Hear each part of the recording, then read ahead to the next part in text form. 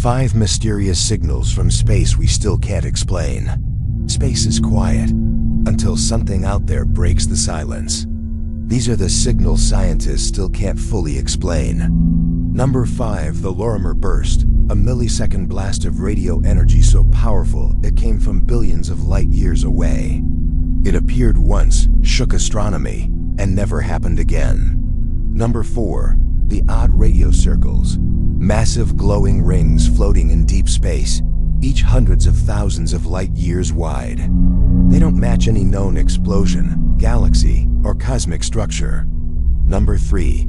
The 16-day radio echo, a repeating radio signal that wakes up every 16 days like clockwork.